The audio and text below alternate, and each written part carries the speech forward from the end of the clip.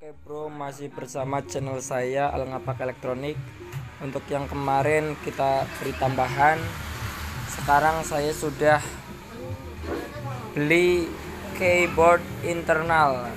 Jadi keyboardnya yang sudah bisa dilipat-lipat Bisa dibawa Kalau seandainya ininya tidak fungsi. Biasanya kalau ini nggak fungsi pengen servis sendiri gampang tinggal beli keyboard in yang mudah dibawa ke mana-mana. Ini bisa dilipat. Ini yang masih barunya. Oke keyboard fleksibel. Terima kasih